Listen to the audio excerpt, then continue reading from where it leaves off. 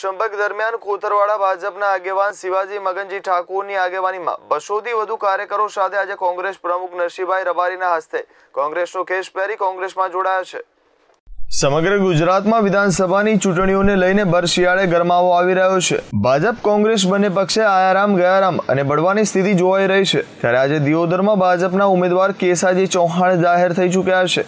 કોંગ્રેસના ઉમેદવાર જાહેર થવાના બાકી છે. અને ગઈકાલે ભાજપના અગ્રણી દિયોદર રાજવી માનસી વાઘેલા પણ પોતાની નારાજગી જાહેર કરી ચૂક્યા છે. ત્યારે આજે કોતરવાડા ગામે ઠાકોર સમાજના અને ભાજપના અગ્રણી શિવાજી મગનજી ઠાકોર કોતરવાડા જિલ્લા પંચાયત ઇન્ચાર્જ પૂર્વે પોતાના બસોથી વધુ સમર્થકો સાથે ભાજપમાં અવગણના થતી હોય, આજે કોંગ્રેસ જોઈન કર્યું હતું. લલિત દરજી સાથે CN twenty four news, Deodar.